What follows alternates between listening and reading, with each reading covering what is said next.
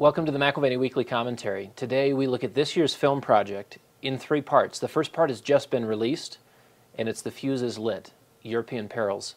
It's available online right now if you go to YouTube, and you can watch a 20-minute segment of what we see happening in Europe and what you can be doing about it. Secondly, we look at the Buffett gold ratio.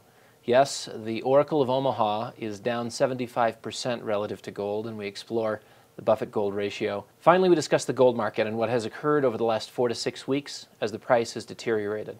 What we view as a floor, the December lows at about 1532 on the gold price. We view this as a launching point for higher prices as we move towards the late summer and early fall. Join us for these details and more as we discuss them on this week's McAlvany Weekly Commentary.